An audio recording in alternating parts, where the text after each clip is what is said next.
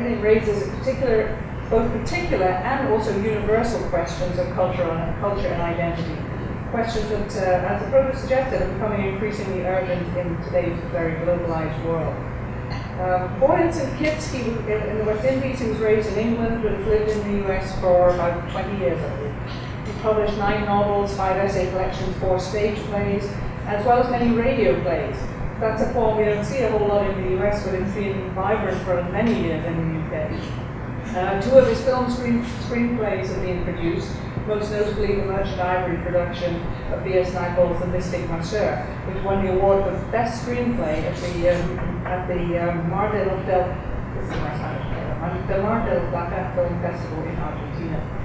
Uh, he's a regular contributor to The Guardian and The New Republic, and his most recent essay collection, which is uh, available uh, back there, is Colour Me English, Migration Belonging After 9-11. include the Martin Luther King Memorial Prize, the James Tait Black Memorial Prize, and the Commonwealth Writers Prize. He was elected a Fellow of the Royal Society of Literature in 2000 and the Royal Society of Arts in 2011. so tonight's talk is going to explore the special tensions and difficulties of being a colonial migrant arriving in the mother country.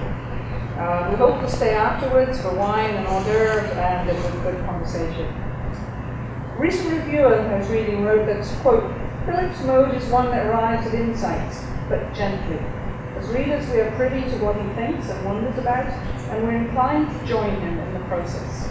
So I invite you to join him here in person tonight, and please welcome. Thank you. Um, is this microphone on? Is it working? You can hear me? Okay, good.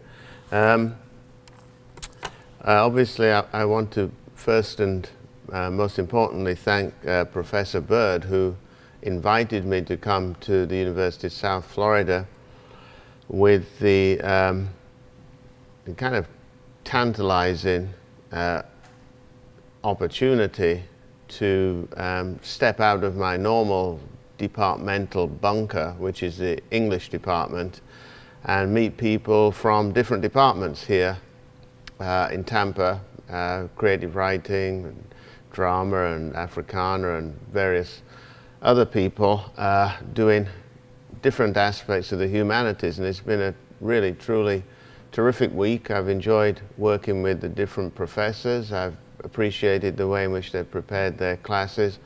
Um, and I've particularly enjoyed meeting uh, students, both graduates and undergraduates. So thanks a lot for the invitation, and it's, it's been a, a great pleasure.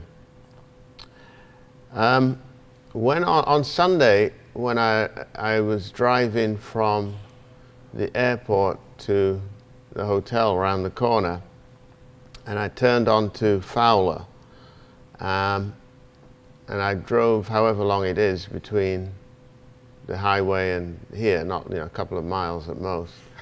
It seemed to me that pretty much uh, the story of America was on both sides of the road in terms of the number of different migrant groups that were represented in the shops and the restaurants and the food outlets. Uh, it, truly was a, a kind of uh, real display of migrant America on both sides of the road as I was coming towards the hotel, which pleased me no end because uh, one of the things that I'm most interested in is migration. Obviously for personal reasons because I'm a migrant myself.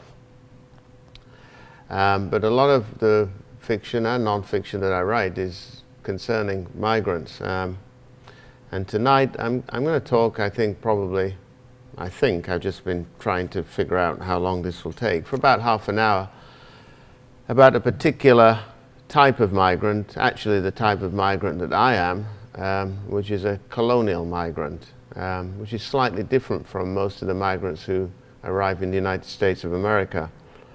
Um, it's a, it maybe doesn't seem like it, but it's a quite a personal talk in the sense that it was motivated by thinking about my parents and my parents' generation and the difficulties that they had um, assimilating into British society. Uh, I won't say any more, I'll just read it and then maybe in the Q&A I'll expand upon that a little bit. So the talk is called The Burdensome Expectations of the Colonial Migrant. There's a moment towards the end of the Trinidadian writer Samuel Selvon, his short story which is called My Girl and the City, where the migrant hero, who's adrift in the cold and somewhat hostile city of London in the 1950s, somewhat surprisingly begins to declare a profound love for the city. Once again, he says, I'm on a train returning to the heart of the city from the suburbs, and I look out of the window. The train crawls across the bridges, dark steel in the darkness. The thoughtful gloom of Waterloo, Charing Cross Bridge, the River Thames reflecting lights, and the silhouettes of the city buildings against the sky of the night. When I was in New York, Many, many times I went into that city late at night after a sally to the outskirts. It was lighted up with a million lights, as New York always is, but I never had a feeling such as I have on entering London. That migrants should have a hard time adjusting to a new city is not surprising in the slightest, but that they should have a hard time yet continue to feel a powerful affection toward the city is somewhat surprising. But this is not just a feature of this writer, Samuel Selvon's work. It's true to the experience of many immigrants to Britain who have spoken or written about their feelings of affection for their new cities. As an immigrant, twice over, once to Britain and then again to the United States, this question of how, indeed why, one might feel affection for a city in the face of overwhelming evidence of rejection has always interested me. Thinking about it has led me to consider that there are, of course, different types of migrants, just as there are different types of cities. And tonight in this talk, I want to consider a particular type of migrant who is now actually something of an endangered species, the colonial migrant. The writer Samuel Selvon was born in Trinidad in 1923, and he went to London as a 27 year old man in 1950, and he was very much a colonial migrant. Trinidad was a colony. Independence didn't come until 1962. Furthermore, my parents who came to Britain at the end of the 50s with me as their hand luggage, they too were colonial migrants. If you look around the streets of London or Paris or Amsterdam, you will see colonial migrants from the Caribbean, from Africa, from Asia, but you'll also see a far greater number of political and economic migrants from all corners of the world which is, of course, what we're familiar with here in the United States of America. At least officially, we don't have colonies, so we don't have colonial migrants.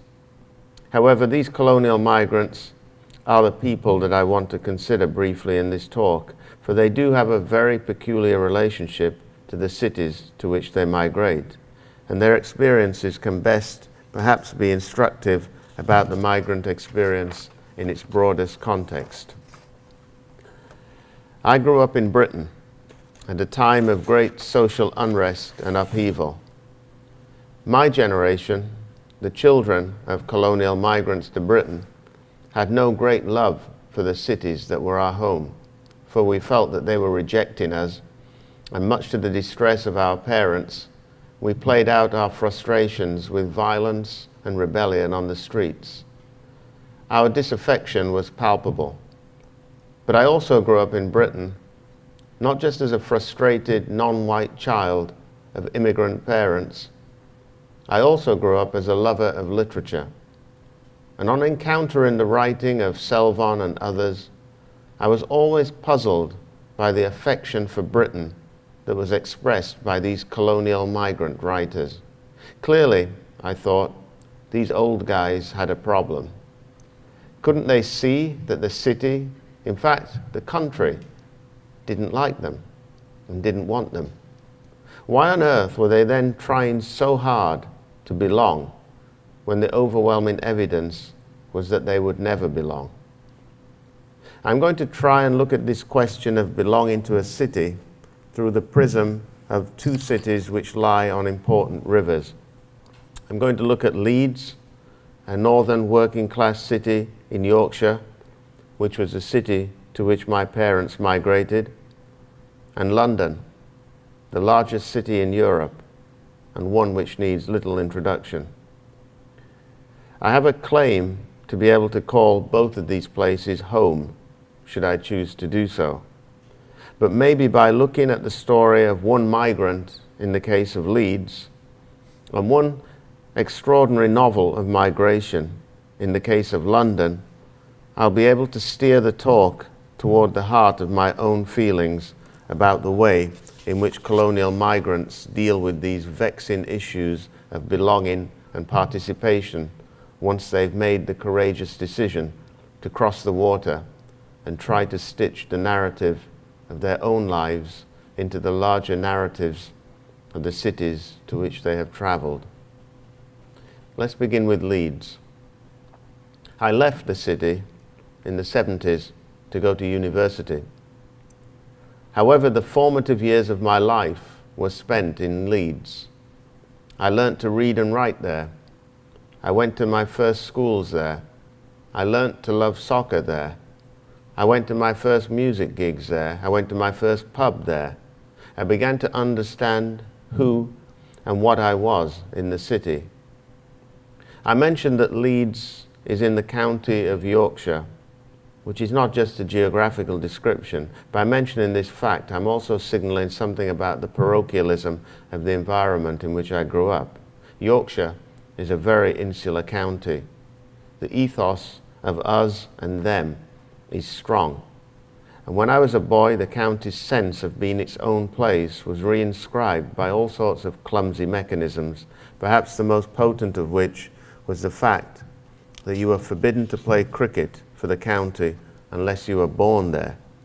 Mercifully, this has now changed, but as a youngster growing up in Yorkshire who loved sport, but who wasn't born in the county, this, this barrier to participation was a daily reminder that in some way I simply didn't belong.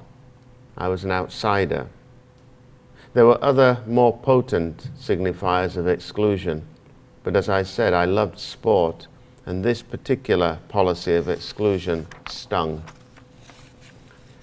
In the late 60s in Leeds, an event took place which cast a long shadow over the city and sadly earned the city I called home national notoriety. A young Nigerian born migrant to the city, David Oluwole, was found dead in the river, which is River Aire, which is the river which flows through the center of the city. Upon closer examination of the events surrounding his death, it was discovered that for many years this poor man had been systematically harassed by the Leeds City Police Force as a result of this discovery, his death was soon being investigated as a criminal offence. However, before going any further with the story of David Oluwole, it's perhaps best to put these events into some kind of brief context by looking a little at the history of Leeds as a city and as a city of migration. By the mid 19th century, the population of Victorian Leeds had swelled to 150,000. And as a result, in 1847, a huge Gothic prison was built to cope with the ever-growing numbers of so-called undesirables. In 1858, Leeds was able to flaunt a new town hall, one of the largest civic buildings in Europe, a place that was impressive enough for Queen Victoria herself to open. Industrial Leeds in the 19th century was thriving and continuing to grow. the four bold words that are carved around the vestibule of the town hall Europe, Asia, Africa, America reminded the people of Leeds that the globe was the true sphere of influence for the British, and Victorian Leeds was perfectly positioned to take advantage of this fortuitous fact. The making of cloth was of vital importance to the town's economy, but Leeds was also becoming very well known as the workshop of the world. Hundreds of factories produced bicycles and cranes, sewing machines, trains, axles, bricks, and much more. And while Leeds gave to the world, she also took from the world. By the late 1840s, a small community of middle class German Jews had established themselves in Leeds, but the Jewish migrants that followed in their wake were largely poor Jews from Eastern Europe. They would arrive at the port of Hull in the east and make their way to west to Leeds in the hope of finding some kind of occupation in the clothing industry. Many were skilled tailors. And then there were the Irish, thousands of them, who arrived in the wake of the great famines of the 1840s. The Irish, the Jews, and then later the West Indians, the Indians, the West Africans, the Pakistanis, the Poles, and many others would come. Immigrants flowed into Leeds and slowly took their place in the order of things. But life was never easy for any migrant group. Of course, people were discriminated against. People were stared at. They were made to feel that they were the outsider, made to feel ashamed of who they were. But Leeds offered one thing, one thing that everybody wanted and was prepared to pay the price for opportunity. In Leeds, there existed the possibility of transforming oneself from what you were into what you hoped to become. In this sense, the city was a place of magical possibilities, a place with jobs and potential. To arrive in grey, grim, bleak Leeds was actually to arrive at a place of hope, and so they came. In 1949, David Oluwole arrived in Leeds. A young 19 year old boy, he stowed away from Lagos in Nigeria and landed at Hull. In those days, an arrival in Britain as a stowaway was immediately rewarded with a mandatory 28 day sentence. It transpired that the courts in Hull decided that the young lad, who harboured ambitions of becoming an engineer, should serve out his sentence in the imposing Victorian structure that was the prison in Leeds. Upon his release, David Oluwole found digs near Leeds University and he began working at the West Yorkshire Foundries, which was a place that made car mouldings for top of the line models.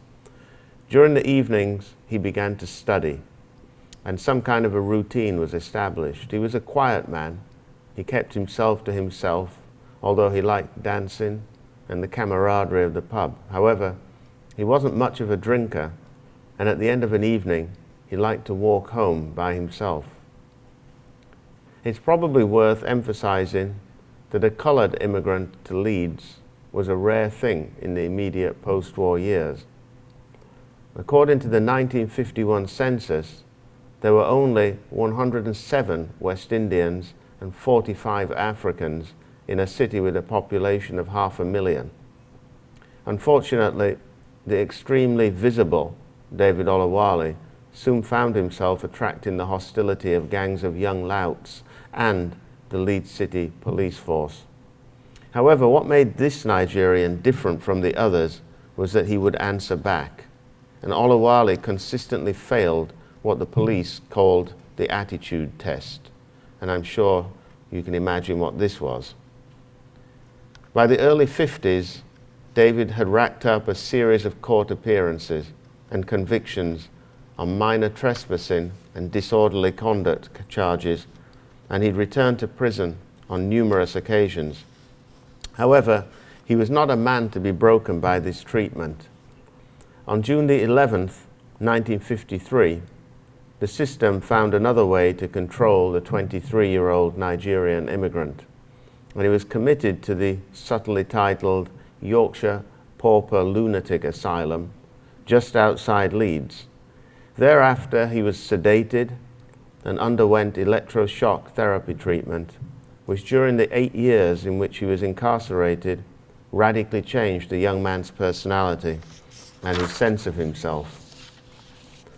Upon his release, David Oluwole had nowhere to live, so he took to the streets of Leeds, a city that was now the only home that he knew.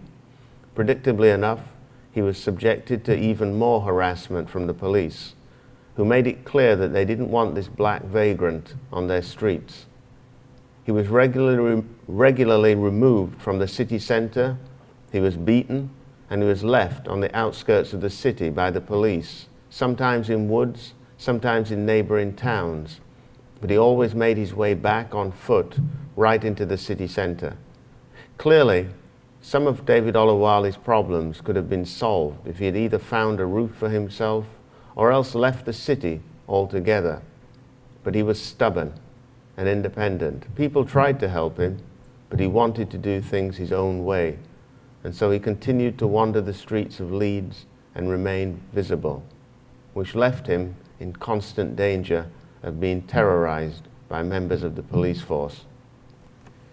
On May the 4th, 1969, a Leeds police frogman recovered David Oluwole's body from the River Aire, some three miles east of the city centre.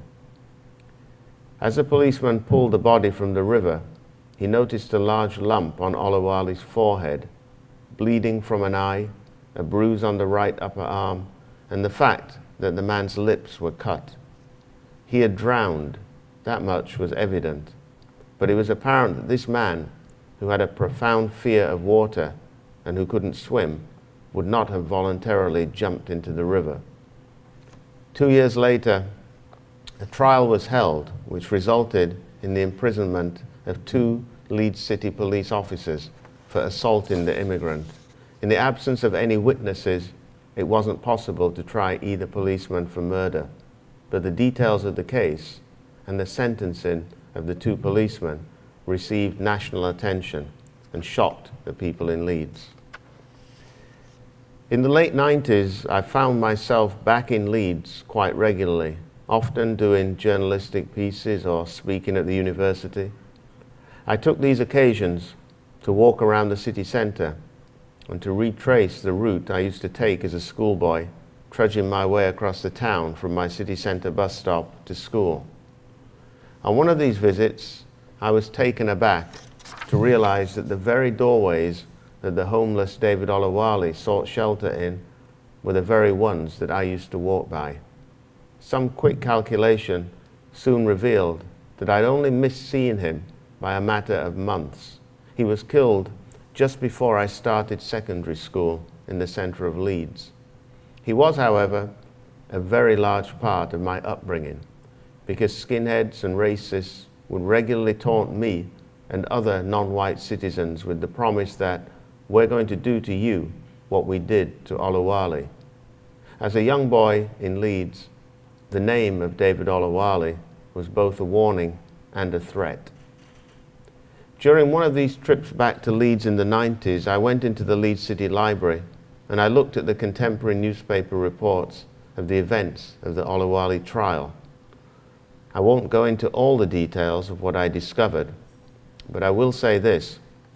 I went into the process feeling sorry for this man who had been brutalized and who'd lost his life. I saw him as a victim.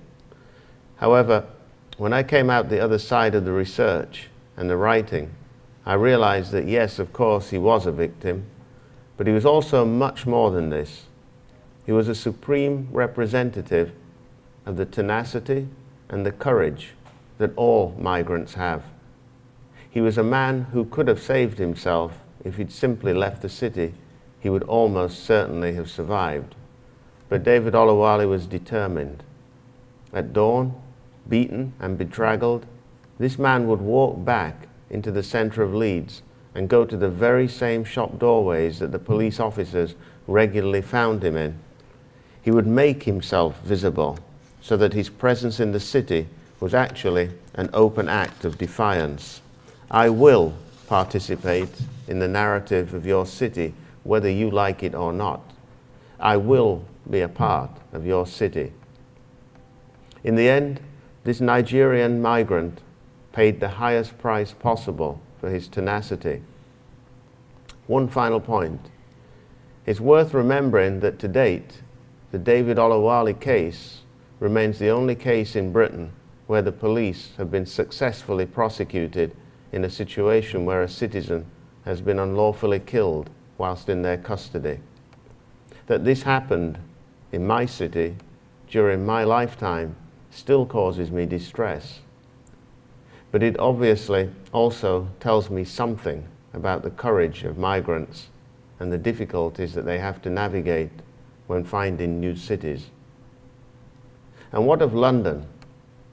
Around this time last year, I found myself spending the greater part of a week in a replica of a boat that was modeled on Conrad's boat from the novella Heart of Darkness.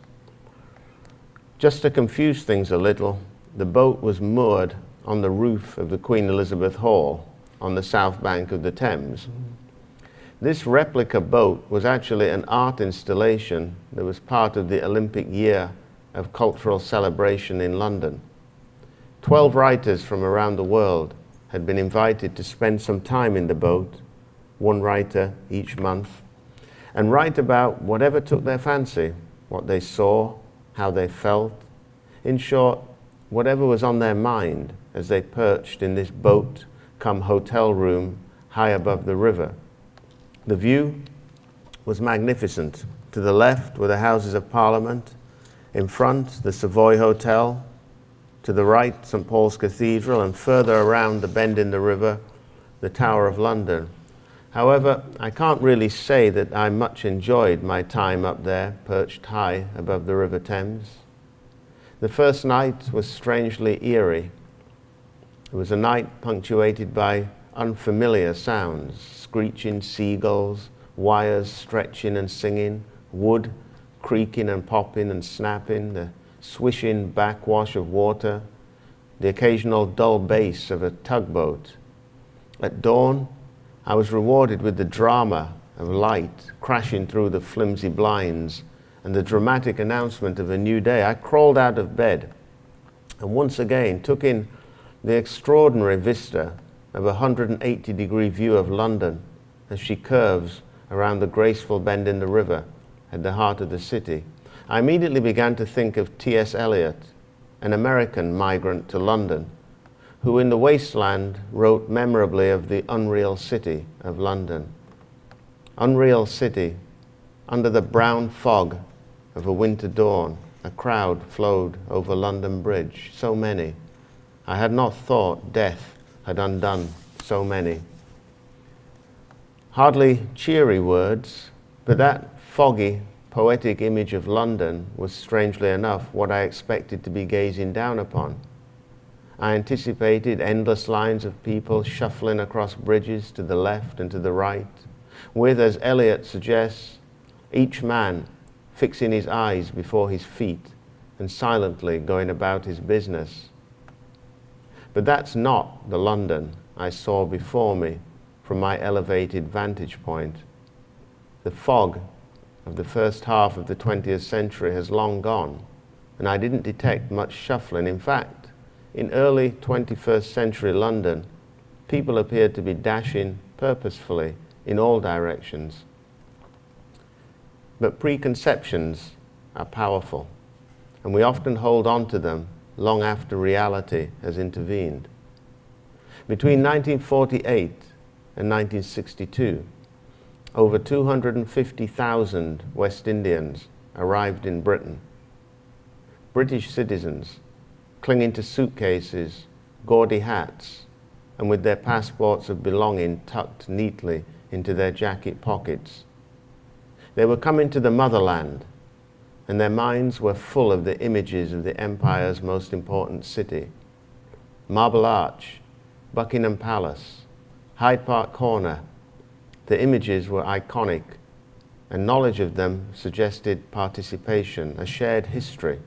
Possessing these images, being able to recognize these places, and most importantly, talk about them with the authority of an insider would surely produce a happy encounter with Britain. These early West Indian migrants arrived in Britain holding on to their preconceptions as tightly as they held on to their luggage. Over 50 years later now, many of these original pioneer migrants are still living in London. We know what these migrants expected because their testimony is preserved in audio archives and in documentary films.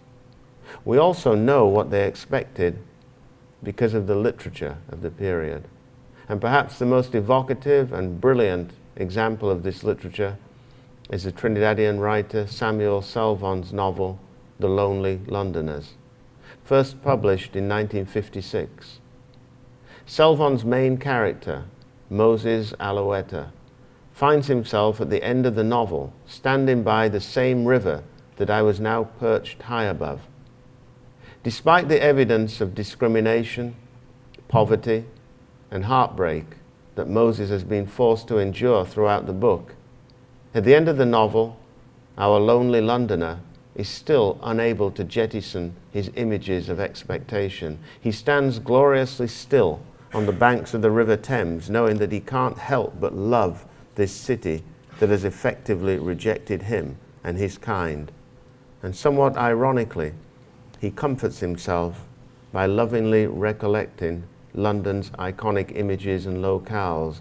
Oh, he says, to have said, I walked on Waterloo Bridge, I rendezvoused at Charing Cross, Piccadilly Circus is my playground. To say these things, to have lived these things, to have lived in the great, great city of London, centre of the world, to one day lean against the wind walking up the Bayswater Road, to see leaves swirl and dance and spin on the pavement, to write a casual letter home that begins, last night in Trafalgar Square. Selvon's characters grapple with the symbolism of iconic London and the protracted and frustrating nature of their struggle suggests deep and unresolved issues around questions of belonging and ownership in the Britain of the period. On my second night, I sat out on the deck of Mr. Conrad's boat and I looked down at the lights playing on the River Thames. And then I took out my copy of The Lonely Londoners and I read the first few lines again, feeling the unease and the ambivalence in the words. One grim winter's evening, when it had a kind of unrealness about London, with the fog sleeping restlessly over the city and the lights showing in the blur, as if it's not London at all, but some strange place on another planet. That's it, exactly, I thought. That's it. Some strange place on another planet. For so many people, the possibility of their participating in the type of Britain that these buildings symbolically suggest remains for them about as real as the possibility of their participating in lunar exploration. It's not the fault of the buildings, of course, but it's what the buildings suggest exclusivity, privilege, power. Cumulatively, the evidence of the buildings forms a powerful narrative that for many can quickly move from a familiar one to a narrative of rejection, even if one did take the time to learn the actual and symbolic meaning of this resplendent view of the city, the city might well still neither recognize you, let alone embrace you or take you in. Leeds and London are my cities. Over the past few years, I've obviously spent a great deal of time thinking about the story of David Oluwale. And I've read and I've reread the work of Selvon many, many times. And this has led me to some kind of understanding of the plight of people who are best termed colonial migrants. For this is what both Oluwale and Selvon were, as were my parents. My family arrived with the understanding that in an almost literal way, they were going home to Britain, the mother country, the center of the world.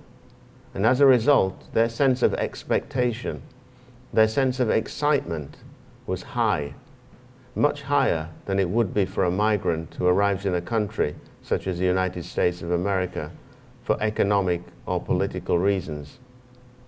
If things don't work out for colonial migrants, their sense of betrayal, their sense of outrage, if you like, or in the case of Selvon's characters, their sense of wistful melancholy, is that much greater and much, much more painful. Colonial migrants are brought up to think that whatever the capital city of their countries might be, be it Lagos or Port of Spain, their real capital city is London. The real centre of the world, of course, is Britain. This sense of expectancy will make such migrants absorb and soak up a tremendous amount of punishment and humiliation in the name of participation. My generation, the children of the pioneer colonial migrants to Britain, we were very, very different. We didn't trust Britain, and we said, screw you to participation. As I said at the start of the talk, the evidence for this can be found in the street tr troubles or urban insurrections, if you like, that first flared up in the 70s and 80s, troubles which were exacerbated by the reactionary policies of Margaret Thatcher. We rebelled. We sought alternative homes, the Caribbean, or for the more essentialist Africa, neither Leeds nor London, nor for that matter Manchester or Liverpool or Birmingham or Bristol were really going to work for my generation. It was during this period of the late 70s and the 80s that I began to see Leeds and London as problematic cities that I just didn't have to be married to, that I didn't trust. And it's during this time that I was profoundly puzzled by the writing of those migrants, those old guys, who in the face of overwhelming evidence of rejection still, for some reason, professed a loyalty to Britain and her cities. But I now understand that for my parents and the other colonial migrants, for them to reject Britain would have been to reject a huge part of who they were. They were, in a sense, as colonial migrants, trapped. I owe a great deal to the people who went before me I still have ambivalence about the cities of Leeds and London and many other cities. But the least I can do, particularly so as a writer, is to honor the struggle of my antecedents by saying loud and clear that the only way you're going to see your city is by looking at it through the prism of me. And what's more, a large part of the success of any society is down to the efforts of people like me, the migrant. Like all migrants, I gave to you in terms of my energy, my ideas, my thoughts, my children. And whether you like it or not, I am now you. I say and I write this in the hope that new societies will eventually learn to include people like me in their vision of who they are, because when all is said and done, that's what migrants need more than anything else to be seen for who they are. This is the true beginning of inclusivity and change. Simply look at, see, and learn to recognize the people around you. And understand that their stories nearly always include you. Even stories as poignant and painful as the ones written by Samuel Selvon, who by the late 70s was so fatigued with the struggle to belong in Britain that he migrated a second time, this time to Canada, where he no longer felt that he had to sh shoulder the burdensome weight of being a colonial migrant, economic migrant, political migrant, call him what you will. When Selvon walked down the streets of Toronto in the late 1970s, he walked with more ease than he ever did on the streets of London. Thank you.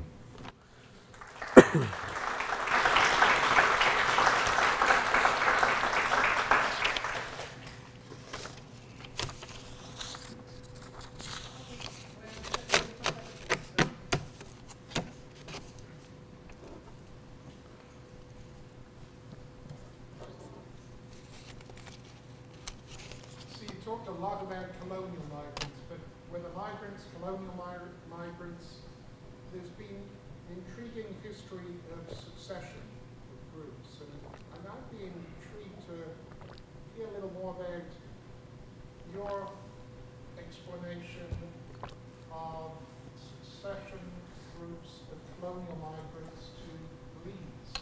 So Indians, Pakistanis, West Indians, Africans. Were there similarities, differences between their experiences as colonial migrants? Um, I think the, the biggest uh, the biggest difference with the immigrants who came to Leeds from India or Pakistan um, or Bangladesh is that they arrived um, with a different language and a different religion, um, which immediately made them suspect. Um, because they had the temerity to flaunt a religion other than Christianity, um, and they had the temerity to speak a language other than English. Um, people from the Caribbean arrive essentially as English speaking Christians. And as a teacher once told me, you're just like us, except you got left in the oven a bit longer which wasn't a particularly helpful observation, but uh, um, essentially, you know, the, the, the, truth behind that is that there was less suspicion of West Indians than Indians and Pakistanis because of culture, you know, culture refracted through the lens of religion and language. So I, found that um, as a kid growing up, the Pakistani and Indian communities tend to be a little more insular than the West Indian communities. Uh, what that means today, I think, is uh, if you are a Thatcherite or if you are uh, subscribed to a kind of Darwinist, Darwinist uh, approach to social integration, is that the economic success story of migrants tends to be located in the Indian and Pakistani community because they had to rely upon themselves from very early on and built quite strong communities economically. Um, whereas the West Indian community, in many respects, or the descendants of the West Indian community, are still struggling, I think, socially with unemployment and with all the other social difficulties that face um, working class or lower middle class people in Britain today. So, I you know, I think it was uh, the big difference was cultural.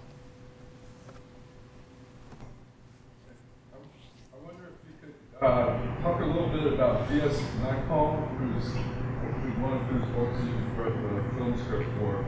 And it, it seems that fall, falls into a certain category of colonial uh, migrants in that uh, he is coming to England, at, but he's coming from a place that he doesn't regard as home.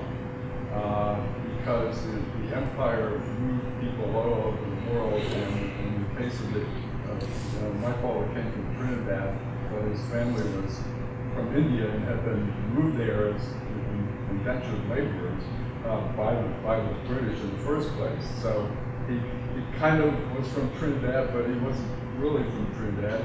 And so he was displaced, you know, and then he comes to, to England and he's displaced everywhere he goes. Yeah. I could probably talk about Naipaul for way too long. Uh, so, uh, but I mean, you've, you've hit the essential uh, uh, nail smack on the head. I mean, his double displacement, even before he arrived in Britain as a um, grandson uh, of Indian indentured laborers, that migration from India to Trinidad is a migration which cuts you off from the essential support system in the Indian community, which is the caste system, because you lose caste by crossing water. So he was already marooned when he arrived in Trinidad. His journey to Britain was slightly different from most migrants because he came on a scholarship to study at Oxford. So he was um, spared some of the indignity of the you know working class people trying to get jobs and homes. So he was cocooned for a number of years. Although the stresses of being a migrant, even as a scholarship boy at Oxford, did result in him having a nervous breakdown as a student. And there's a very interesting, uh, I thought, very revealing volume published about 12 years ago, which is the letters that he wrote to his father. Um, when he actually the first letters were written in New York because he traveled to England via New York. The first letters were written in from the Wellington Hotel on 58th Street in New York as a 17-year-old kid to his father about his sense of being, his observations of New York en route to England. A profound sense of displacement, I think, followed him um, out of Trinidad and into the world, and it's fed his writing. He's also, as, as you obviously know, he's distanced himself quite um, carefully from any affiliation to anywhere. Trinidad, India, he's managed to sort of offend everybody. Uh, with, so he's the one group that still claim him, actually, uh, and do so with a great deal of pride, which is always shocking to me every time I go there, is Trinidadians. I mean, this is a man who got the Nobel Prize for Literature and thanked England. Uh, not the country where he grew up, not where he learned to read, not where he learned to write, not where he went to school. Um, but it says something to me about the dignity of Trinidadians and their ability to forgive, that they're still prepared to take this individual into their midst and, and embrace and recognize him.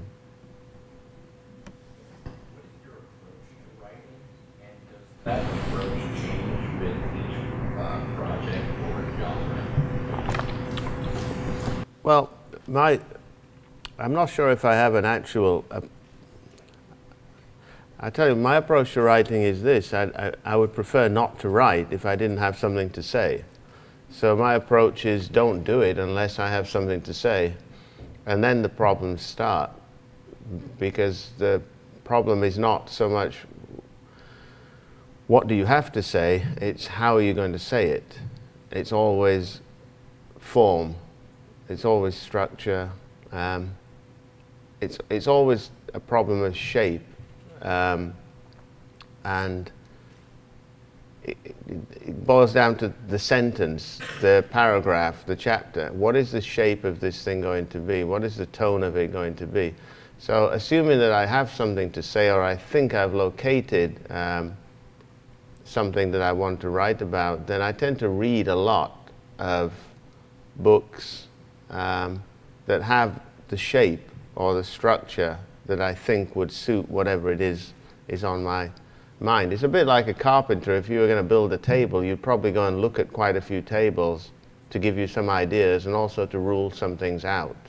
So uh, it's, it's, it, it's, a, it's a craft as much as anything else. Uh, and you, I think one has to be aware that uh, the best words in the best order.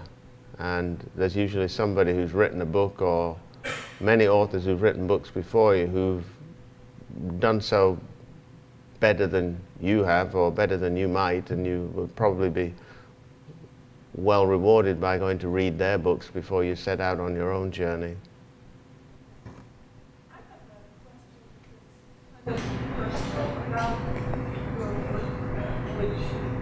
Um, to position yourself in work is very personal because of your own experience as um, a colonial or your parents' experience as colonial language, and to continue to address these issues of, of being a migrant, and, and especially with the story that you shared about Oluwale. So I'm, I'm wondering, what are your have you, I, I would expect that you have a certain amount of perhaps animosity towards these or towards the UK, um, that you, or maybe some bitterness towards the way because your family was treated or others, other people of color have been treated, other migrants in that area. And I'm wondering how, to what extent that might be true or not, and, and how you have dealt with those feelings and as you have gone, continue to go back and write about Mm. that experience?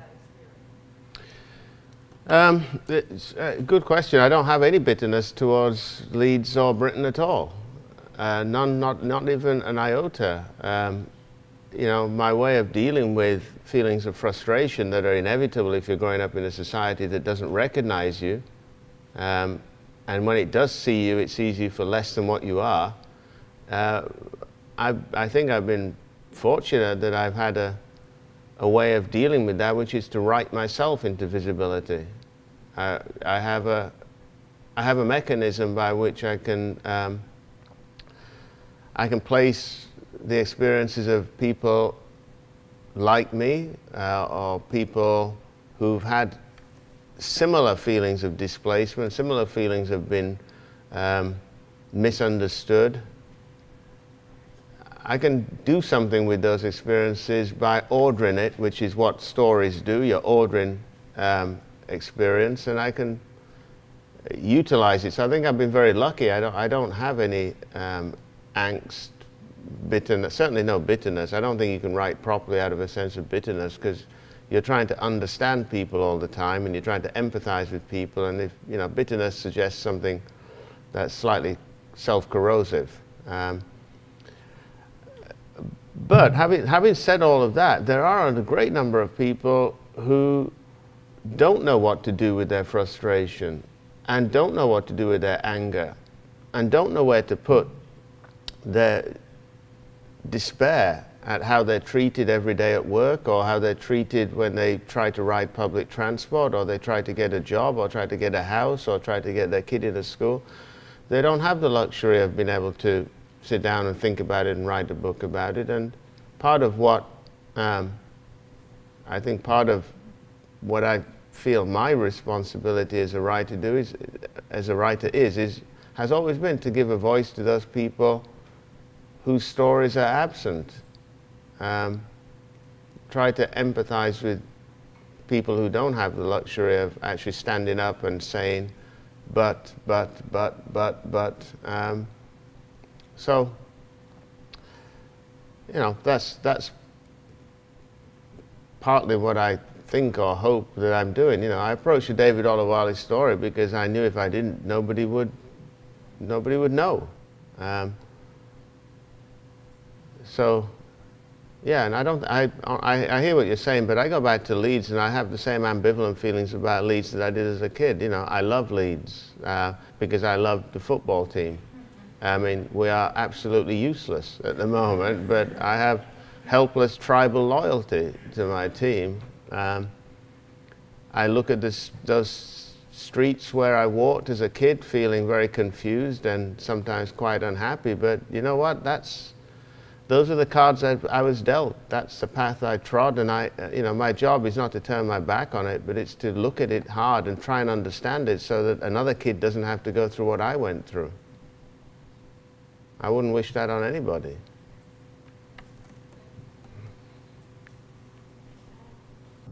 You think the state uh, surviving colonial immigrant and her successive generations today in a progressive and globalized Britain in relation to current uh, racial relations and racial justice?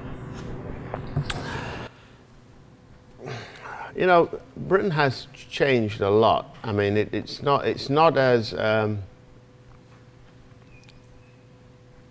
it's not as hostile a country towards the outsider, depending who you are as an outsider. In a, in a sense, a lot of the difficulties that colonial migrants had to deal with during the, you know, my parents' generation and obviously my generation, their kids, a lot of those difficulties have been uh, reduced. It doesn't mean that the society is suddenly this wonderful, the term which is used in this country a lot, post-racial. It definitely isn't. But what I'm saying is that the, the hostility and the distrust um, is now focused on other people. You know, you listen to the way in which people talk about um, uh, Muslims. You know, you could scratch out Muslim and just put in West Indian 40 years ago. It's the same ignorance that has been visited among the Islamic community. Um, It's the same ignorance that has been visited upon the community from Eastern Europe who are migrating into Britain at the moment. Um, the distrust, the fear, the nonsense in newspapers about, you know, all these Romanians who are flooding into our country, the thinly veiled nonsense about gypsies. And so there's still difficulties in the society, even if it's not focused on the colonial migrant at the moment. A lot of those, the distrust of the newcomer, a lot of the same language, a lot of the same mythology is being visited on different communities now. Um, West Indian community, you know, there's now a third generation, which is like my nephews and nieces who are at college um, and are leaving college, and no doubt there'll be a generation soon after them. They don't have the problems of assimilation and participation that we had. You know, they're the, you know, this is even a generation on from you guys. They're the Spice Girls generation. You know, they they, they're the generation that look at the England football team and see that half the faces are non-white. They look at the British track and field team at the Olympics. They look at, they, they see multicultural, multiracial Britain. We didn't see it. We didn't see that. Um, they see it, they're not as anxious. Um, but that also means, I have to say, that sometimes I worry that they're not as vigilant about some of the comments about other communities as well. Um, and it, I find it kind of distressing when I hear casual prejudice being used by people who should know better, put it that way.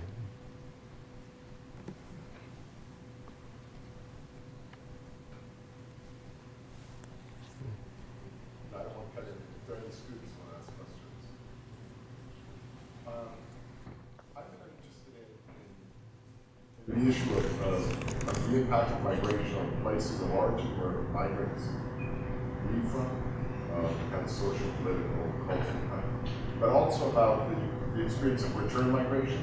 Yeah. You are, in, I mean, your own experience, you are in some ways a return, a return migrant, you have been for, for part of your life. Could you, could you talk a little bit about that? Um, you mean return migrant to the Caribbean? Yeah, yeah. Well, it's very hard for people to go back to where they've come from because the places that they're returning to um, often haven't changed as quickly as they've changed. So, you know, I know from having taught in the Caribbean and University of the West Indies in Barbados, from having lived in St. Kitts a couple of times over the last 20 years, um, there's a lot of what they call returnees who've tried to restitch their lives back into the Caribbean after, 20, after 30, 40 plus years in Britain. And it's very, very hard for them because they've got used to, um, they've got used to certain ways of doing things. They've got used to certain ways of thinking, certain opportunities, certain facilities at their fingertips. It's very hard for them to return. And the frustration that they have is that society has not changed as quickly as they've changed. Um, so it, I just think it's, I, I, can't remember, I wrote once, there's, when you look out the back of a boat and you see um, the path in the water um, that is there, if you blink and look back, there's no longer a path. It's not there. You can't actually go back. I don't believe, uh, once you've migrated. It's very, very tough uh, to go back and to replant yourself um, and, re and explain who you are. Uh, people find it hard to um, people find it hard to do that. And I'm not just talking about colonial migrants, I'm talking about the larger issue of returnees I, have written about with people from the African diasporan world, particularly Americans, African Americans, going to live in Africa. Um, and I spent a great deal of time with African Americans who are trying to live in Africa, particularly West Africa and Ghana.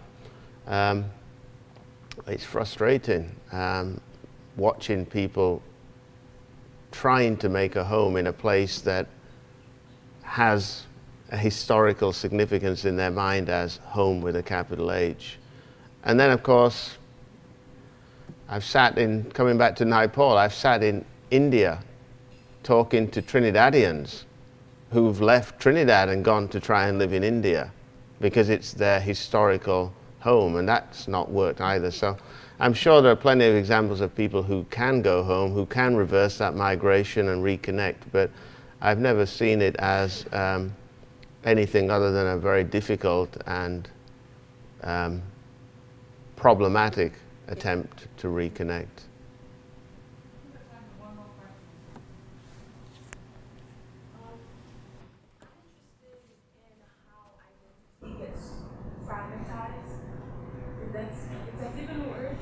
That's a word. yeah. Um, how it gets fragmentized among immigrants and especially among colonial migrants.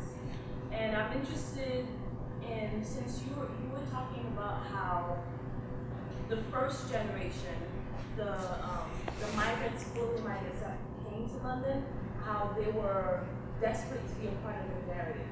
And you, as a child migrant in your generation, you were defying even the desire, even the need to be mm-hmm. belong.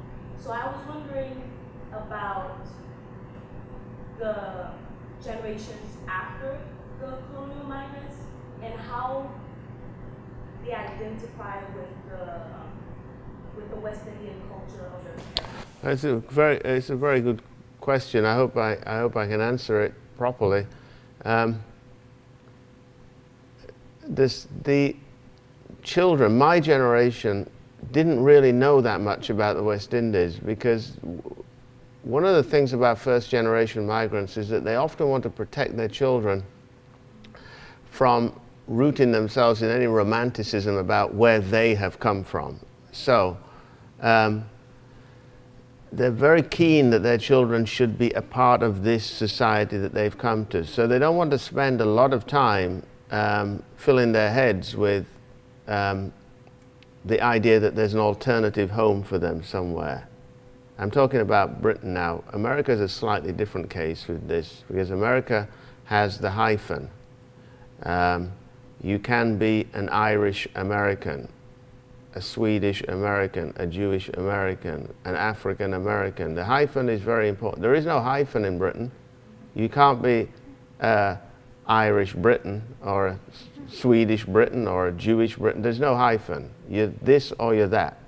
So, knowing that this is a situation, people like my parents didn't really tell us very much about the Caribbean. Um, and I know this from talking to lots of friends my own age and, uh, who had a similar experience. You go home from school, somebody's called you a name in the playground, they've told you to go back to where you come from, you turn on the TV, there's Enoch Powell, a politician, tell it, say all these people should go back to where they come from. And eventually at a certain point you say to your mom or your dad, where did we come from? And they say, you come from right here. Don't let anybody tell you any different because they're trying to reinscribe in you a sense of belonging in this new country. That's what they crossed the water for. Um, so it builds up a, a, kind of confusion and a resentment, obviously, at a certain point, and then a search to find another place. Um, and often that means looking at the Caribbean for those whose parents came from there almost looking past your parents at it, if possible. Um, and a big help for my, my generation were helped enormously uh, by Bob Marley, by the rise of reggae in the 70s, which became for us a huge cultural calling card because, of course, you go to see, you go see Peter Tosh or you go to see Jimmy Cliff, and there's a whole bunch of white kids from your school there as well. It was something that unified you but it was kind of culturally yours.